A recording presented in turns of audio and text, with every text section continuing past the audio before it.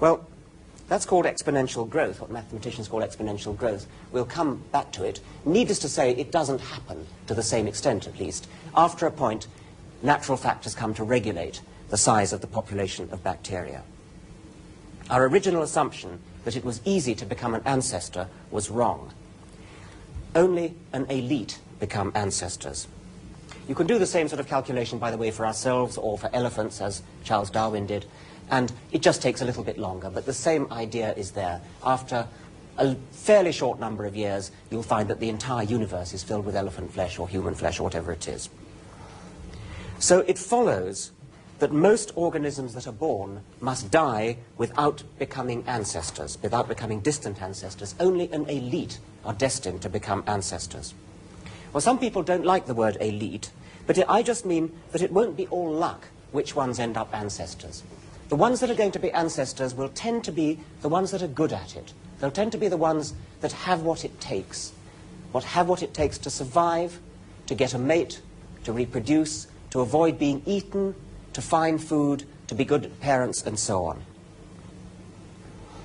That's really just a way of putting Darwin's theory of natural selection. Because we that are left, we that survive, will have inherited the genes of a long line of successful ancestors. We'll have inherited whatever it took to make them successful as ancestors. But for the moment, I want to emphasize something else, which is that we are lucky to be alive. We're lucky to be alive because it would have been so easy for our ancestors not to have been here. It would have been so astronomically probable that somebody else would have been here rather than us. And we're lucky to be alive for another reason. Think about it this way. The universe is about 14,000 million years old. That's 140 million centuries. Some 60 million centuries from now, the sun will become a red giant and engulf the Earth. So there are about 200 million centuries from the origin of the universe to the end of the world. Now, of the 140 million centuries since time began, every one of them was once the present century. And of the 60 million centuries to the end of the world, every one of them will be the present century. The present century is a tiny spotlight inching its way along a gigantic ruler of time. Everything before the spotlight is in the darkness of the dead past. Everything after the spotlight is in the darkness of the unknown future. We live in the spotlight.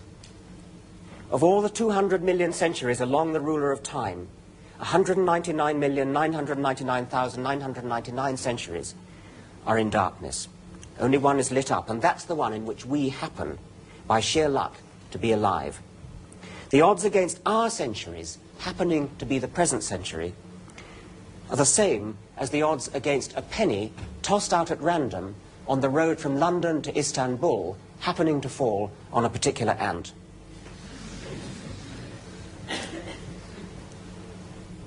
Well, in spite of those odds, you may have noticed that we are, as a matter of fact, here. Uh, and it, it, really, of course, it's not surprising. We're here because uh, we're the ones doing the calculation. If somebody has just done the calculation that we've just done, then that somebody, of course, has to be alive. Nevertheless, I do feel rather lucky to be alive, um, and for another reason, too. Now, the smoke going into the beam represent stars. Each particle of smoke represents one star. And you can think of the beam as a gigantic searchlight beamed out from space and signaling from our planet in the hope that somebody else on another world will pick up the message.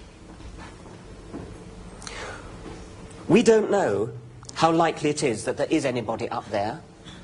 We can say that if our message does hit another planet, then almost certainly it'll be so far away that if those people up there had a telescope looking back at us, then what they would be seeing is not us at all, but the dinosaurs that was here 65 million years ago. Or in other words, our message will reach people uh, millions of years into the future.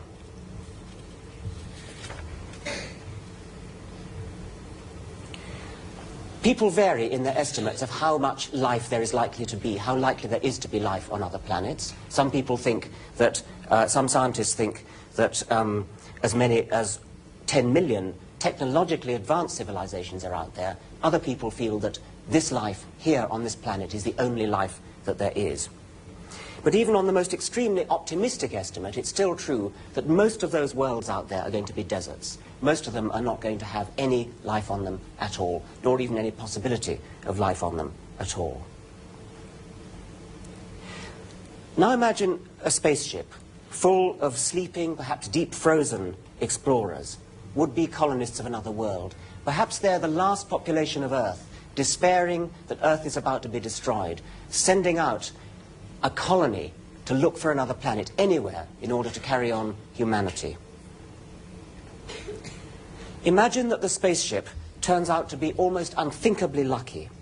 It does chance to arrive at one of the very, very rare planets capable of sustaining our kind of life, a planet of the right temperature with oxygen, and so on. The passengers wake up and stumble out into the light and they see a beautiful world of waterfalls, green leaves, mountains, coloured animals and bird-like creatures flitting about. Can you imagine how it would feel if you woke up, perhaps after a hundred million years of sleep in a spaceship, and found yourself on such a world? A whole new world, a world that you, such as you could live on, a beautiful world. You'd surely bless your luck in arriving on such a rare world, walk around in a daze, a trance, unable to believe the wonders that met your eyes and ears. Well, this will almost certainly never happen to us. And yet, in a way, it's just what has happened to us. We have woken up after hundreds of millions of years of sleep. Admittedly, we didn't arrive by spaceship, we arrived by being born. But the wonder of the planet, the dazzling surprise of it, is the same, whether we arrive by spaceship or by birth canal. We are amazingly lucky to be here, privileged, and we must not waste that privilege. Here, it seems to me, lies the best answer to those narrow-minded people who are always carping on about the use of science. The founder of these Christmas lectures, Michael Faraday, was once asked by the then Prime Minister, Sir Robert Peel, what was the use of science? Sir, Faraday replied, what is the use of a baby?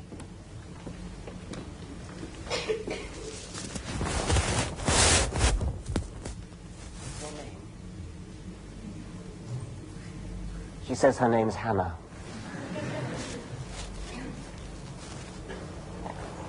Faraday said, what is the use of a baby? And I've always thought that what he meant by that must be that a baby has such potential.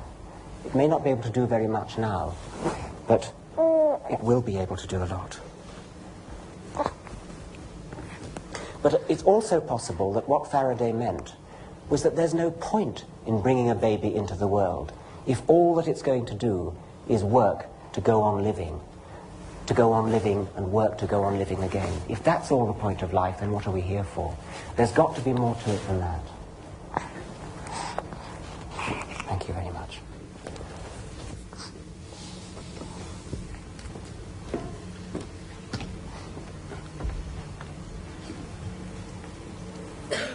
Some of life must be devoted to living itself.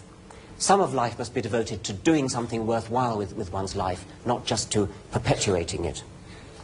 This is, of course, how people quite rightly justify spending taxpayers' money on the arts and on conserving rare species.